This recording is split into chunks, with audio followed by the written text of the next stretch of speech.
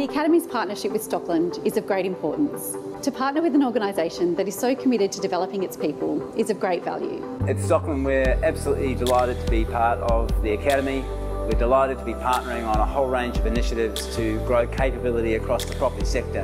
And one of the great things about our relationship with the Academy is the ability to offer a much broader range of learning and development opportunities for our employees. We can offer things that are more technical like the property and project management, but also focus on some soft skills like presenting and negotiation skills training. At Stockland, our vision is that we believe there's a better way to live.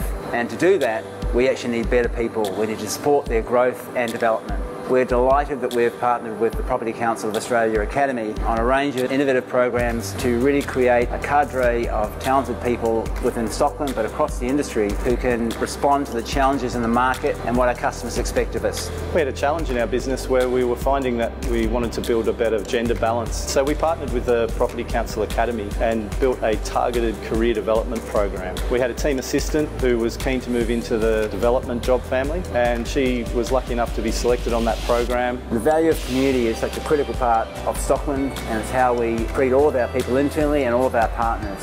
We're delighted to partner with the Academy on the learning solutions both for our people and across the industry.